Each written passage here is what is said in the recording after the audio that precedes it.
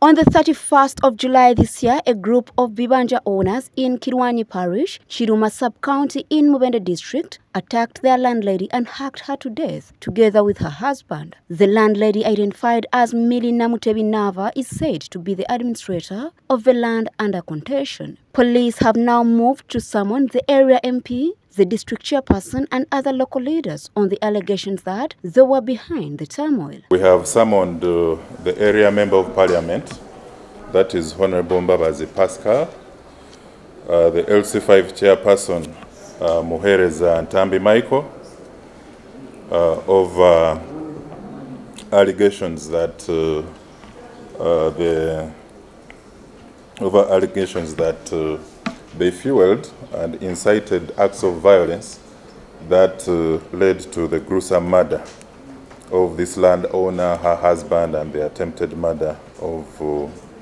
uh, the two uh, the two sons. Police says these politicians will face charges of inciting violence and conspiracy to murder. Five people have so far been arrested, charged and remanded over this murder. Chiruma LC3 chairperson is among them. Police say these politicians had already planted their people on the land in question. In addition to summoning the area MP and the LC5 chairperson, we've recorded the statement of the LC3 chairperson, Chiruma sub-county called IMBC West Stephen.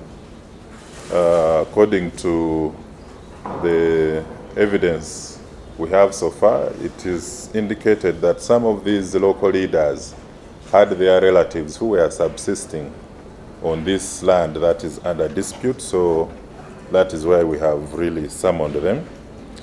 We are now looking for 11 others who, are, who participated in the murder. Also, police are set to start the operations against drunk driving in a bid to reduce road carnage in the country. Police spokesperson says after receiving directives from the Ministry of Health, they are now working with the Ministry of Works and Transport to find modalities of implementing the directive.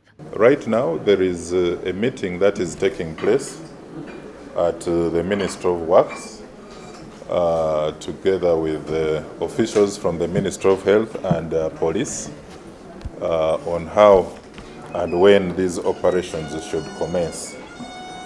So we shall be informing the public accordingly on the resumption of these operations on drink driving. Enanga explains that the increasing road carnage in the country is largely attributed to people driving under the influence of alcohol, thus advises motorists to desist it. First of all, caution uh, the public that uh, drink driving uh, is punishable uh, by law. And uh, uh, for that matter, we need to caution revelers and, and other people who drink that if you drink, ensure that you have somebody who will be able to drive you home. Meanwhile, NIRA spokesperson Osborne Mushabe has clarified on the over 10,000 national IDs that were seized by the Ministry of Internal Affairs. As an authority with the mandate of identifying and registering Ugandan citizens, NIRA was partly blamed for the mishap and would like to clarify as follows. One, we need to note that NERA drives its mandate from the Registration of Persons Act 2015 NERA relies on other government structures during the process of citizenship verification for registration of citizens for national identity cards. Rachel Nachwala reporting for the news.